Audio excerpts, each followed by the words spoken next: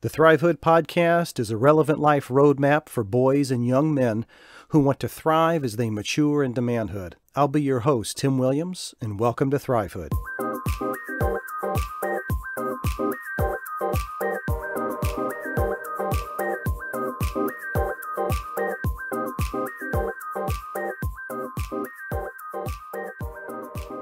It is the Thrivehood podcast. I am your host, Tim Williams, or as I refer to myself on occasion, Uncle Tim. And you are listening to the Thrivehood podcast, as I just said before. Why did I say it again? I don't know. But let's move forward. Hey, for a number of months now, I've been actually posting, um, I guess you would sort of call it a, a promotional cover for each individual podcast or each individual episode that I do. So, you know, if you see that, feel free to share that, send that out to to your friends and family and whoever else you think might be interested. Maybe there's a certain topic or a subject that comes up that you think someone would like or enjoy or would help be helpful to them. Man, I would love it if you would share that with them. And again, the Thrivehood podcast, the or I should say the website is thrivehoodpodcast.com, thrivehoodpodcast.com. So, 10 things young men should know. This is volume 2. I came out with one uh, I don't know. It's been two or three. Well, it's been longer than that. It's probably been a couple of months that I came out with my first installment. This will probably be a series. I knew when I did it, the first one, I thought, you know, I'll, there's going to be quite a bit that these young men should know, which so it goes right along with my podcast theme of helping you guys mature and grow. But these are more just kind of bullet points in and out ideas and thoughts and suggestions and I want to share those with you. So we want to do a round two. So let's dive in. So the first one, and this is in no particular order, the first one that I think would be valuable is negotiating and haggle skills, haggling skills. That's what they another way another way to say negotiating is to haggle. And depending upon where you are in the world, negotiating is either a part of everyday life or it's pretty much an uncomfortable practice, to say the least. Uh, the truth is that, especially for us living in the West, you know, in the Western world, we don't always consider many of, you know, some of the commercial transactions that can be negotiated, but they can. Some of the obvious ones are you're negotiating for a for a car, you're negotiating for a house, you do a lot of that. But hotel rooms, rental cars. There are a number of other areas that you can actually do some negotiating in. You, you can even, in some instances, negotiate with insurance companies, your cell phone, your internet, Wi Fi. There is actually a, a number of opportunities in which you can negotiate and learn that skill and to be able to haggle. And the reason isn't just because you want to be able to be good at negotiating. It's about good, getting a good deal, right? It's about getting the best deal that you can. So, in, initially, as you are beginning to learn this and try to hone this skill, it is going to be awkward and you're going to feel out of place. But you guys know this with practice and more practice comes more confident, more capability of being able to really deal in the art of negotiating. And ultimately, the whole idea is to get a good deal. When you move up in the ranks in your career. There is more than enough room to negotiate all kinds of options and not just necessarily the the amount of money you're going to make every year, but there are benefits galore as you continue to again rise up through the ranks of wherever you're heading for your career. You can negotiate all kinds of vacation time and pension and 401k, all this kind of stuff that's out there. There's a lot that you can negotiate and it would do you some good. So keep that in mind. Alrighty, onward and upward to number two learning how to tie a necktie. You'll use this skill probably very seldom in your life, but man, I want to tell you when you use it and when you need to use it, man, you want to look sharp, okay? Trust me, I have seen a number of young men, I, I say young men, I'm adults that when they are going to a some type of event that calls for this, you're thinking that dude has never tied a necktie in his entire life and it shows. So man, you want to be good at that. Yeah, you do it once or twice a year if even that. But man, you got to style, baby. You got to look the part, man. I mean, you got to be down with it, man. You know, I mean, you got to be looking good. That's that's good. That's good. It's important, right?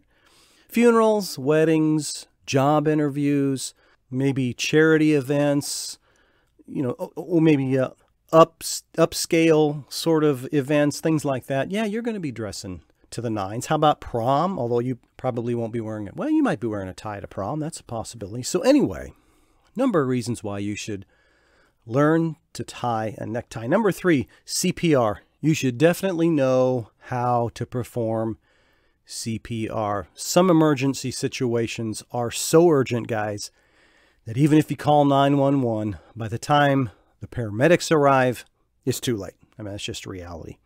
Believe it or not, about one quarter of Americans say they have been in a situation where CPR was needed. They didn't say that they had the skills, they're just saying there was a situation where they needed it. Heart attacks, other scenarios where breathing becomes labored and there is an unresponsiveness going on. I know just recently we were watching, my family, we were watching a, a movie, or not a movie, we were watching a series, something about real life emergency situations and there was two buddies that were out in some they were out in, in somewhere in africa I, I, believe that's where they were at along some one of these little rivers that run through africa and they were kayaking down some of these rivers and this one guy took a pretty steep jump off of a waterfall and dude didn't come up you know, his kayak turned over his buddy raced out there and for about four minutes the guy was unresponsive. And fortunately, his buddy pulled him up, performed CPR, got him to sit up, and saved his life. His, his buddy saved his life. So you, you just don't know when you're going to need that. And I think that's important. I think that's good. Saving someone's life. Think about that, man. That would be pretty awesome to put in your in your history books of memories, right? Hey, I, you know, I did this, I did this. Oh yeah, I saved somebody's life. that would be pretty cool. And also be aware that there is a new hands-only method which can be used on teenagers and adults alike. It's something that's a little different. I won't go into all the details. I do know that it has to do with you're not putting your mouth on mouth anymore. I know that much about it. And it's more just using compressions. So Again, if you haven't done it, or maybe you've done CPR a class years ago, or even your parents or your guardians have done it, um, you might want to let them know too that it's not the same. The, the approach has changed a little bit over, over the years. So you're getting ready for that all important meeting or prom. How about that?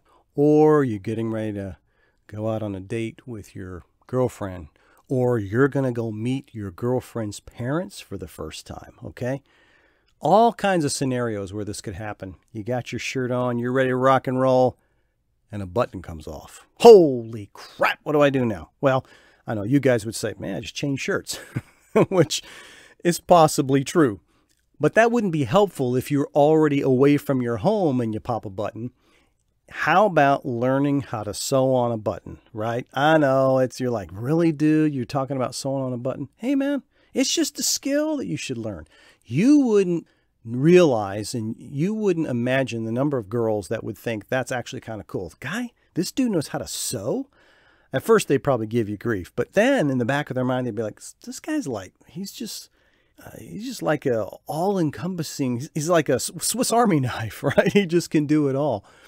So I know while sewing seems to be more of in the ladies realm, just knowing how to fix simple clothing can really come in handy in case you're in a pinch. I think that would be worthy of that. Sharpening a knife from pocket knives to kitchen knives to survival knives.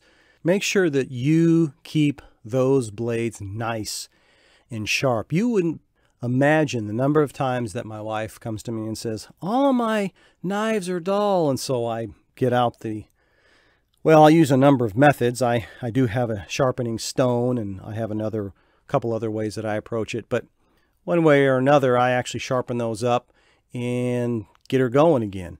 And by the way, that saves a lot of money because if you don't know how to sharpen, you're going to throw all these blades away. You're going to go get brand new knives and you're just, you know, flushing money down the toilet, so to speak. So keeping a blade uh, sharp and knowing how to use it and being able to keep it in a place of usefulness for you, very good. It's good, good thing. I use knives all the time. I'm, I've got one in my truck. I've have one several around throughout my house. You just never know, man. It's just good. And there, I know this is going to sound corny. There's just something about sharpening a knife. I can't explain it. Eh, there's just something manly about it. It just, I don't know. It just, there's just good vibes that come from that. And I think it's important for you to, to learn how to do that. How to use a compass. Yeah, yeah, yeah. I got Google Maps. I got turn by turn directions. Well, what if you're out in the middle of nowhere and your phone is dead? All right, that's probably going to be a big challenge. Maybe you're out in the wilderness, you can't get a signal. In those type of situations, make sure you have a compass so that you have the ability to at least figure out which direction you need to go. So out of all of the skills, out of all of the skills that I have learned over the years, this one is very empowering.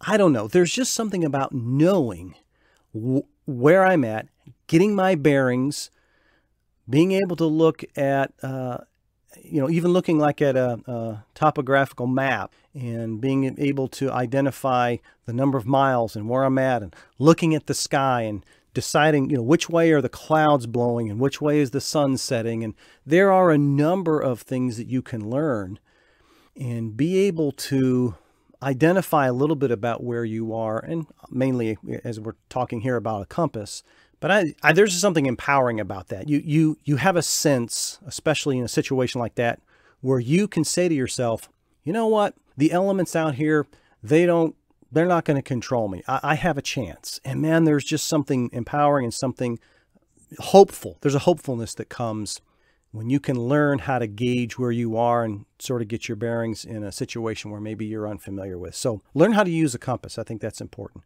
Guys, you've just dropped one of the biggest dumps in history.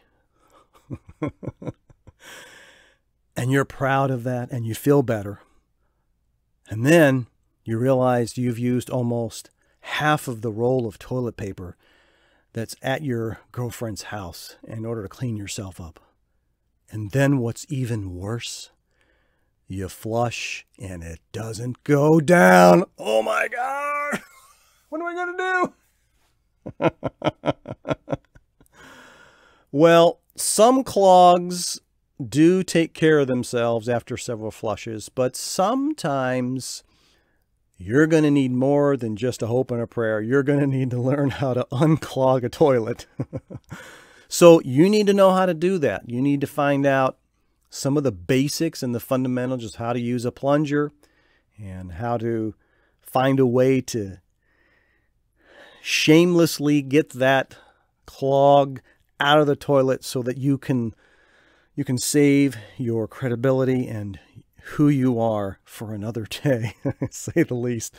Basically, how to unclog a toilet. I will let you know this, something I didn't know until recently. When you have a plunger, now I'm being serious, and you actually push into the toilet, they actually say you're not trying to push hard in and then slowly pull out. You actually push in slow and hold it there a second and pull towards you quickly and up fast. It's the opposite of what I was always taught. And they're saying they're, you're actually trying to pull the clog up so that it actually has the ability to go back down better. Let's move on because what a disgusting topic. Pun intended, I, sh- I shall say. Practicing situational awareness. There is always the possibility that we're going to face a threat there's always the possibility that our safety is going to be in danger. Whether it's an active shooter, a deranged coworker, an irritated driver, you know, oftentimes we don't really notice that. We don't notice the threat until it's too late, until there is something that's really out of balance. And we're sort of, I don't know how you'd say that, engrossed in our own headspace, maybe is a way to say that. I think it's very, very important to be aware of your surroundings Where are you? Where could threats come from? What's in the, whatever the situation it is? It's it's and it's not all encompassing your life, but just being aware. In the tactical world, it's often said the best way to win a fight is to avoid a fight, right? And to do that, you need to develop situational awareness. And this isn't just knowing what's going on around you, it also means having a plan and knowing what to do when you notice something is going awry, of being able to be aware. You're getting on a bus. Is there an exit in the back? Who's all on the bus? At a moment's notice, how many men and how many women are on here? Does anybody look, you know, like there's something going on? You know, there, there's just a lot there that you can gauge. You're you're walking with your girlfriend, you know, down a street. You know what what's going on here? What are we what are we walking into? Just being aware. It's as simple as that. Again, it's not something that should in, in, invade your entire mindset, but it's just being aware. Walking to a car, just noticing the car, you know, maybe trying to look underneath the car and just taking a quick look before you get in. Is there anybody in the back seat? There's there's all kinds of uh, moments in, in circumstances and situations where that would be important. Nine, number nine is driving in the snow. I know for some of you, if you're listening to this in the Florida Keys, you're going to be saying, this doesn't matter to me. And hey, if you never go north of the Mason Dixon line and that's going to be your life, fine, there's no problem. But it would be good if you had some general knowledge and understanding of how to drive in the snow. Trust me, as I live in Middle Tennessee, uh, sometimes the things that people do in in Tennessee just uh, get under my skin. But again, you just need to learn how to to drive in that. Just you know, remember, slow and steady wins the race. You're not always trying to race through it. Although I will say, if you're going up a hill, actually, it is good to get a little bit of a of a, a push, a little bit of speed, because it also will help propel you up the hill, even though you may not be uh, pushing on the gas a lot. That's just one tidbit I can suggest. And then finally, and lastly, writing in cursive. We are teaching our kids, our son and our daughter, about writing in cursive. I know in the age of texting and emails, you know, everything sort of looks the same. Well, writing in cursive sets you apart from the crowd. Writing a handwritten letter every now and then to somebody sets you apart. It breaks sort of the the mundane. And I know that sounds silly, but you know, it, it, it adds a little bit of class. It adds personality. And again, as I said, it does set you apart. And by the way, use this method as a follow up to an interview, whether you do a face to face or an online Zoom interview, that you're wanting to set yourself apart. Use this. Write a very classy, cursive little thank you note to the interviewer, the manager, whoever you interviewed. That will set you apart guaranteed. Well, there you go. There's 10 more suggestions of some things that I would say you should know and learn and be able to practice. And until next time, guys, stay, stay, stay strong. See you later.